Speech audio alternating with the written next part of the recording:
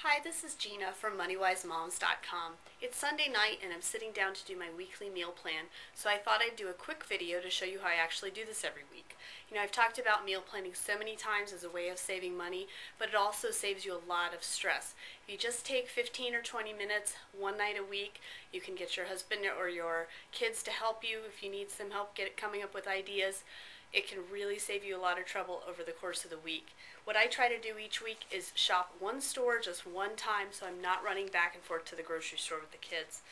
So every Sunday night when I sit down, I like to have a few things with me. I always have my grocery ads that come in the weekly newspaper. I have a couple of recipe books handy if I'm planning on trying anything. I have a piece of paper and a pencil just to write it down, and sometimes I need to have my calendar. If you have a lot of afternoon or evening activities so that you get home late into the dinner time, you might want to have your calendar handy, and that'll help you in planning your meals. So my goal each week is to hit just one grocery store one time, and we have three different grocery stores in my town. So what I like to do is flip through the weekly ads when I get them and pick the one store that has the most sales, the most types of things that I'm looking for. So right now I do have chicken in the house from last week, but I don't have anything else. So I'm looking for the ad that has the most types of protein that we can buy for the week, and this week that happens to be Safeway. Just looking at the front page, they have a couple of things that would make for some really easy meals this week. They have um, the round roast on sale, which I like to use in the crock pot. Now every Wednesday we have gymnastics after school. We don't get home till about 5:30. So I love to use the crock pot every Wednesday. It's great when I walk in the house at dinner time with all three kids and we're all hungry. The whole house smells good and dinner's ready to go. So I'm definitely going to pick that up this week. I'm going to go ahead and write that down on my list. The other thing they have on sale this week is some ground beef, and my kids have been asking for tacos, so I'll go ahead and put that on my list as well. Now, as you're planning out these meals, it's really important to think through the entire meal. If I'm going to serve a crock pot roast, well, what do I need? What are the things that go in the crock pot? I might need to check one of my recipe books or look online, but I also need to think about sides. Are you going to have potatoes, rice, noodles? What kind of vegetable are you going to have on the side? And then what I'll do is make my grocery list here and head over to my own pantry and see if I happen to have it on hand. If I don't, I know I need to pick it up this week at the store. They've also got a lot of produce on sale this week. I know I can get some bagged salad, some tomatoes, and pick up a cucumber, and that'll give us salad two or three nights of the week. Then I'll also use some of those things for tacos.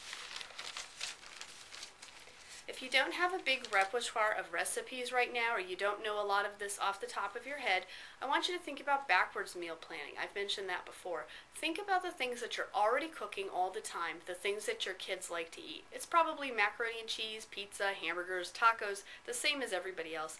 Keep it really easy when you're first starting your meal planning. Just do the recipes that you know how to do. If you want to try some easy recipes, I hope you'll head over to my recipes page. Those are some of our family favorites kids included, that they ask for all the time. I'm always talking about the pork chops and things that my kids really like. Those are really easy recipes. If you're trying something new, I would recommend that you try it on a weekend when you have a little more time and you're not feeling so rushed. So just by flipping through my ad, I get a lot of ideas for what to have to eat. One of the things that my son asked for this week was chicken soup, a chicken chowder actually, that we haven't had in a while. So I don't remember what that takes, so I'm going to need to look that up in one of my recipe books and write down all the ingredients. And after I do that, I know that I'll have everything on hand. I really like with meal planning that I don't spend every day wondering, starting in the morning, well, what are we going to have tonight? What will we have tonight? I wonder what I have in the fridge. It's all there. I've already shopped for it, and I don't need to run back to the store over and over. That's one of the ways I've really cut down on my grocery spending by trying to go to the store just the one time a week it really helps. I'm not going back and forth, especially with the kids, and hitting all those impulse buys between me and the kids. So once you have your whole week planned out and you figured out what else you need for breakfasts and dinners, you could make that one trip to the grocery store early in the week and have everything that you need. It'll keep you from going back to the store over and over. It'll keep you from wondering every day what's for dinner, and it saves you a lot of money in the long run. It's also actually less stress for you because you're not worrying about it every day, and you actually end up eating a little bit healthier. Even if you cook pizza at home or hamburgers and fries at home, it's still a lot healthier than eating in a restaurant, and you know that it costs less. If you're a beginner or you have some questions about meal planning, I hope you'll leave me a question or a comment under this post in the comments. Thanks for listening.